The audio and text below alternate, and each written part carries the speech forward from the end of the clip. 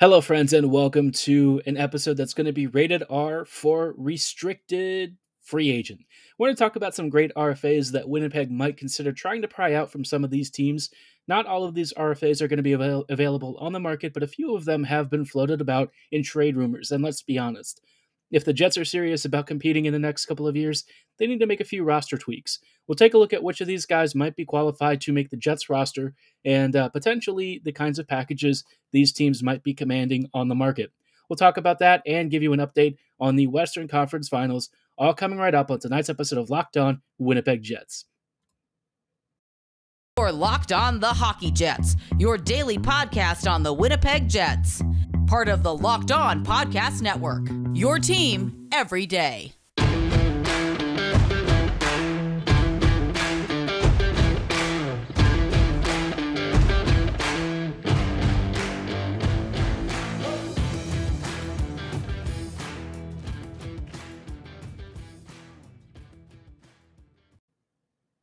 Hello, friends, and welcome to tonight's episode of Locked On Winnipeg Jets, part of the Locked On Podcast Network, your team every day. I'm your host, Harrison Lee, an avid Winnipeg Jets fan and an online blogger. You can follow me on Twitter at HLLivingLoco and at LO underscore Winnipeg Jets. Thank you for choosing to make Locked On Jets your first listen of the day every day. If you enjoy what you're hearing, be sure to like, follow, and subscribe on your favorite podcasting platform of choice, including Apple, Spotify, Google, Megaphone, Odyssey, and YouTube. We've got audio and video versions of this podcast available every day of the week, 24 7, to keep you in the loop on the latest happenings around the league and specifically around the Winnipeg Jets. So, again, drop us a follow. We really love and appreciate your support. On tonight's episode, I thought it would be fun to return back to um, our, our, free agent list. Uh, I might talk about some unrestricted free agents, but one status that I haven't talked about uh, are RFAs. And RFAs obviously have a little bit more complication because you need to trade for the rights. Um, and oftentimes, when you're dealing with RFAs, uh, it can be difficult to get some of them to sign, especially if they're not happy. But you know, by the same token, RFAs also don't really have uh, as much contract control, and they certainly do struggle to, uh, you know, get themselves out of situations that they don't really enjoy. Sometimes you'll see guys take really short-term contracts to get through to uh, unrestricted free agency. I believe that's age 25 or 26, um, and after that, you know, suddenly the market opens up and you can kind of chart your own course. But uh, in the case of some of the RFAs that we've got coming up this year, uh, there are some very good free agents that the Jets might really take a look at. One of them I've talked about before. Um, obviously, this guy, I, I, think for me, is one of my favorite underrated players. This is Brock Boeser. Boeser just seemingly has this ability to naturally help out a line's shooting percentage, and you know he does it with break-even shot impacts. He's got a great release. Uh, he's actually pretty defensively responsible. I wouldn't say that his total on ice impact is anything to be, you know, blown away by, but you're looking at a really well rounded two way forward with a great shot. And if you're getting a guy who can pot 20, 30, maybe even 40 goals in a much better scenario or system uh, and a more supportive environment, you know, all while posting around break even shot metrics in both offensive and defensive impacts. I mean, you're basically getting like an absolute bona fide stud. Uh, the reality is, most snipers out there tend to be not exactly great when it comes to, um, you know, the, the, the sorts of trade offs that you have. Like Kyle Connor, I think, is a wonderful example. This year, KFC kind of supplanted uh, a lot of his defensive deficiencies with just a ridiculous amount of individual offensive creation. But previous years, we couldn't really say that. Brock is a little more well balanced, and I think that that balance is really crucial to making him uh, a really attractive option. Now he's currently making just under six mil. I would imagine that a future extension with him probably uh, is going to clock in somewhere between six and seven. I don't know if he really has that kind of negotiating power. I feel like, you know, based on the past couple of seasons, the injury risk, I kind of look at like a five and a half range to be more in what I would feel comfortable paying him. Uh, I do think that he can be a like a very good uh, top six forward. I don't know though if his shoulder is is you know gonna ever be the same as it was. Uh, obviously, he's had some pretty serious upper body injuries, um, but you know I, I, I do expect that he'll make a pretty sizable jump in in cash. Probably his next contract is going to be like I don't know six point five, I would say. And if the Jets were interested in acquiring him, um, obviously, they'd have to give up some, some pretty serious futures. This is probably the time when you start talking about trading guys like Ville Heinola. Uh, as much as I very much like Heinola, uh, if the, if the Jets don't really intend to play him and he doesn't have a future with Winnipeg, uh, I don't really want him to stay around and basically waste away. Um, unfortunately, with this this Jets team, you know we have a lot of prospects who need spots, and sometimes it feels like you know if if the Canucks really want to you know move Boeser, I would say the Jets should make a move and, and use some of their assets that they don't have planned in their future. Now, I don't feel Heinola is actually the kind of guy who's going to get frozen out. I do think sometime in the next season or two, he's going to become a mainstay. And I, I think it might even happen um, this upcoming season. So I don't know if I would be really down to move him for Boeser necessarily. Um, I do think it would be the kind of package though that it would take, and certainly I like if there's a reasonable deal to be made for Boeser, and you've got a contract extension lined up that's within reason, you know, five to six years. Uh, I would definitely be in for removing Heinola and some assets for that that kind of deal. But um, otherwise, you know, he his situation will be one to monitor. If it kind of gets to brass tacks and suddenly Vancouver finds it can't extend him, you know, yeah, see what you can do. I, I think that there are going to be some teams desperate to dump some of their RFAs. Uh, you know, either because they're about to get a massive extension and they can't really afford it, or you know, there's just a relationship rupture. Matthew Tkachuk is probably one of the best examples. Uh, Matt just dropped a 104 point season, and he is definitely in line for like an eight and a half to nine million, maybe even nine and a half million dollar deal, which you know for a team like Calgary, it's it's kind of breaking the bank, especially when you've got Gaudreau also due. Now, Tkachuk, I would I would kill for, but I, I don't really feel uh, that Calgary is going to be interested in anything the Jets could offer that wouldn't basically cripple the Jets. Um, I actually don't even know where Tkachuk is going to end up because there aren't that many teams that can frankly fit him on their team uh, without, again, kind of sacking Constantinople to get uh, his name down on their roster. I think that you would have to give up an extraordinary package uh, for for Tkachuk, and I, I do think, you know, at the end of the day, it would be worth it. It's just, you know, you're going to have to really raid the prospect cupboards and probably send some bona fide NHLers back the other way too. So yeah, Tkachuk, I, I think would be a very dreamlike scenario. But if the Jets, for instance, were looking to trade Scheifele and some futures, that would be the kind of deal I would be interested in. Um, but you know, that's like a really out there scenario. I can't imagine that the Jets are really interested in trading Scheifele. Um, more than likely, it's going to be somebody like Pierre Luc Dubois plus uh, assets if you were to target somebody like Tkachuk. I don't really know that that's necessarily an even trade. Uh, I, I do believe in Dubois' potential to be a monster center, and honestly, I could easily see him hitting 90, 100 points with Calgary. But you know, as it is, he didn't really have that kind of season for the Jets. So yeah, an interesting one.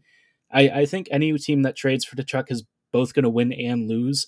For the Jets, I feel like they would just have to give up too much. And to be honest, I don't think Winnipeg really has enough that's interesting. So, uh, dreamlike scenario, I think Boeser is a more realistic target for me.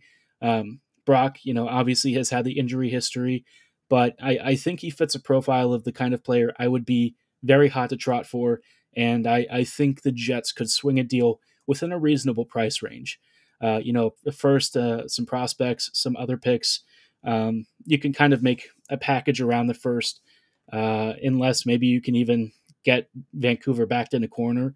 I can't imagine that that's going to make a lot of sense though, because I think a lot of teams would be competing for Brock's uh, the trading rights. So, yeah, I, I, would imagine the Jets are going to have to pay up. And honestly, you know, I'm all for that. I, I do think, uh, you know, the fan in me doesn't want my team to overpay, but also for me, I'm always into organizations getting at least decent value. So, um, it's kind of how I view like international football and stuff not so much with the NHL, but uh, I, I, do think the Jets should be willing to spend a bit uh, and, and, really, if they can get Boeser in, I'd be thrilled. But he's not the only uh, RFA out there that I think is really worth Winnipeg's time and attention. There are a couple of other ones that I want to talk about. Some of these guys uh, most likely are going to re-sign with their teams, but if the Jets can pry one or two of them out, I would be beyond down for that, to be honest. Uh, and we'll talk about who those guys are in just a little bit. Before we go any further, though, I do want to shout out our wonderful partners at Bet Online. They are your number one source for all of your betting stats and sports info. They have all the latest sports developments, news, and odds, including this year's basketball championship matchup, the NHL Hockey Conference Finals, Major League Baseball, and of course, the latest fighting news from MMA and UFC to boxing. If you're not into those, no problem. They've also got a lot of other wonderful sports, including international football. They've got F1, NASCAR, whatever sport you're into, they've got you covered. And if you're not into sports, no problem. They've also got Vegas casino games. So, really, all your bases are covered. Not MLB style, though. BetOnline is a continued source for all of your sporting wagering information as well, including live betting, esports, and so much more. Head to the website today or use your mobile device to learn more about the latest trends and action. Bet online. It's where the game starts. Hello, friends, and welcome back to this episode of Locked On Winnipeg Jets. Thank you for choosing to make Locked On Jets your first listen of the day, every day. We are talking about some restricted free agents. Uh, these free agents are a little bit more complicated because you have to trade for their rights, and uh, some of them are going to be looking for pretty big paydays. But before we talk about a few other targets that I think the Jets should maybe be considering, I did have a huge favor to ask of you. A lot of you have been listening to this podcast for a while now, and uh, we've actually started thinking about getting some feedback and trying to find ways to improve our show. So we've come up with a handy dandy, really quick little survey that we're looking for all of y'all to fill out. Uh, you can find the survey at lockedonpodcasts.com slash survey. It's really short and once you complete it, you get entered to win one of 10 $100 Ticketmaster gift cards. I don't know about you, but knowing how expensive concerts and, you know, Winnipeg Jets games are, a Ticketmaster gift card for just giving some thoughts on a podcast really couldn't be easier. Give us some feedback and we'll help, you know, it'll help us shape the content that you want to hear about and see, and uh, also give us some ideas for future episodes. So again, drop off your feedback at lockedonpodcasts.com slash survey right now. Really love and appreciate your feedback. Now, like I said, I wanted to talk about some restricted free agents. We talked about Boeser. I talked about Tkachuk. Uh, Tkachuk is definitely dreamland. Boeser more in the more in the reasonable range that I think the Jets could afford. If there's an interesting name that I definitely um, have circled back to a few times, though, it's Dylan Strome. Strome uh, with Chicago, you know, he's kind of at the age where I, I think Chicago doesn't really want to build around a player like him. And honestly, he's more of an offensive complementary piece than he is like the linchpin of some team's offense. That said, I think Strome is awesome at what he does. Uh, he's kind of like a less effective Mark Scheifele. Uh, his style, I think, for a lot of people is kind of awkward to look at. Uh, it's not exactly the world's most elegant offensive scoring output, but I don't really care about that. I just like results. And Strome is a very consistent scorer. He's got a great, great shot. He's got great vision in passing. Skating is, you know, decent enough. Uh, it doesn't hold him back, right? If you got if you got a guy who's just mobile enough to be useful, I think that that's fine. Uh, I'm not looking for Connor McDavid out there, but I think Strome would be a very cool secondary center to, to get behind, like a Pierre Luc Dubois or a Mark Scheifele, and really to fortify your top nine because Winnipeg's center depth, uh, it's just not that great in terms of high end scoring ability. Um, this, you know, this past season with PLD and Scheifele, it was a bit of a different story. But assuming that one of them probably isn't going to be here at the start of uh, next season, that means you really need to start looking for some options.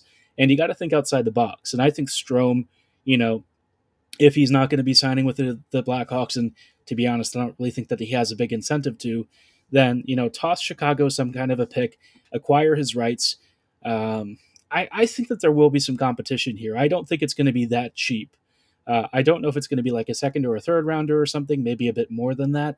Uh, but certainly, I, I, have to think a lot of teams are looking at a guy who had 40, 48 points in 69 games and uh, is certainly a very um, shooting percentage driven kind of guy with a lot of playmaking ability. You know, it, it's not like you're getting the world's most elite first line player, but you're getting a really great second line complementary uh, center or winger. He's got that positional versatility. He's good on the power play and at even strength. I just feel like there's going to be no end to suitors for you know somebody looking uh, to get a, a, pretty modest pay increase. I don't think he's going to be cheap. Um, I'm sure five and a half to six million is probably in the ballpark of his next deal. But uh, for what the Jets need, I think he's an ideal fit in the same vein, I, I have a lot of time for Kevin Fiala, but um, Fiala, I would imagine he's going to be a, a, quirky one to track because you know he had 85 points in 82 games. He was very clearly Minnesota's best player, uh, not not best player, but one of their best players this season, and obviously one of their top scorers. Uh, but you know the reputation around him is always very mixed. It's kind of persisted ever since the the Nashville days that he's lazy, that he doesn't work hard enough, and that he disappears during cr- crucial moments. And I think um, his lack of scoring during the Minnesota series uh, in the postseason, it did not really sit well and sit well with management. And like Bill Guerin kind of called him out, which was um, not a good look, if I'm being honest. Uh, Fiala is definitely falling out of favor with the Wild in that respect. Um, I, I really feel like it's crazy to just look at one playoff series and be upset at him. But hey, you know, teams want to shake things up all the time. And if the Jets could bring Fiala in, I think he'd be a wonderful fit out wide for this team. He's got that finishing talent that the Jets are just really lacking right now. And he also provides a lot of, uh, you know, passing boosts. He's got great speed. And again, his shot within tight spaces is wonderful. So, yeah, I, I know that it is um, a little bit risky with his reputation, but I kind of bank on just his scoring prowess and record. And thus far, I think it really speaks for itself. So, yeah, if the Jets want to try for either Strome or Fiala, I'm super down. Um, I feel like Fiala might end up staying with Minnesota. I just don't know how that's all going to work out. Uh, the comments from from um, Guerin weren't really glowing, I would say. So we'll keep an eye on that situation. We'll see who of these uh, RFAs are going to stick with their teams, and also continue to talk about more RFAs over the next few weeks. Some of these guys, again, are going to be kind of protracted negotiations, and this might be the time where the Jets try and come in on some of these deals. Uh, Tkachuk, in in some fantasy land, maybe Winnipeg ends up with him. Who knows? Probably not this reality, though. Brock Boeser, Fiala, Strome, yeah, that's what we're talking about. Something a little bit more modest and something within the price range. But I, I'll pause talking about that just because I could go on about RFAs all day. I do want to give you some quick updates about the uh, the, the Western Conference Finals. Obviously, this is uh, the current series that I think not not as many people um, are are pleased with the outcomes right now. Uh, McDavid's Oilers are really struggling against the Avalanche, but you know there are some takeaways that I think are worth discussing, and we'll get to those in just a little bit. Hello, friends, and welcome back to this episode of Locked On Winnipeg Jets. We are closing out tonight's episode with some quick thoughts on Edmonton versus Colorado. Uh, game two, uh, Edmonton basically got smoked by the Avs, and it's not really shocking. Colorado kind of had the run of play in the first game for at least part of it, and then Edmonton really started hitting back on counters and stuff. And it got to the point where it's just a really wide open, very fun game. Game two, very different story. The Avalanche basically stepped on the throttle and just never really let off and Mike Smith got bounced. Um, kind of got kind of got riddled with uh, puck holes, unfortunately for him. But you know, some of the goals he conceded, I, I wouldn't say were his fault. Others not so great. The Josh Manson slap shot, probably not something you want to let in. But like the Artturi Lehkonen tip, not a lot that you can do about that. Um, I just thought the Oilers looked really slow, which is not shocking. I think that their team is built to be a little bit more physical, a little bit heavier, and against a team like Colorado that's very fast hits you with a lot of north south counters on rapid uh, turnovers and stuff. I just don't really think the Oilers are super well, uh, you know, equipped to handle that. McDavid's line got demolished. McDavid's line with Nurse was horrible. Uh, Darnell's pairing has just gotten torched, and I don't even know if it's really Nurse's fault necessarily. Um, I'm not sure who he's partnered with, but every time I see him like on a two on one or something, I just don't even know where his partner is. Uh, I feel like he's been victimized on a lot of rough reads that aren't necessarily entirely on him. And McDavid's line just hasn't been able to really assist defensively. They've been getting caved in. They're not forcing turnovers. They're not really blocking shots. And ultimately, they're just not even clearing the defensive zone with the puck. So uh, if, if McDavid is down in the defensive zone and not up the ice, Edmonton's screwed because they just don't really have the firepower elsewhere to afford wasted minutes with McDavid every time that he's on the ice, you've got to be getting some kind of positive offensive value out of him. If you're not, the series is going to be very short, and thus far, it's kind of trending that way. I think uh, Edmonton, we already knew was going to be very vulnerable and not that good, but you know, you still hope that the McDavid line would put up uh, a really nice showing, but unfortunately for them, they've just not really had an answer for Colorado's wave of depth and uh, really effective matchup players. So, yeah, tough series ahead. You know, it's it's going to be a, a, bit of a slog clawing your way out of a two nothing deficit, but you know the Oilers have surprised us before. Maybe they've got one more. Uh, later today, uh, this is going to be like Friday morning, so later today you'll be getting getting to watch um, the Rangers versus Lightning. After that first game, in which the, the Rangers were definitely the stronger team, I'm curious to know if the Lightning have a big response.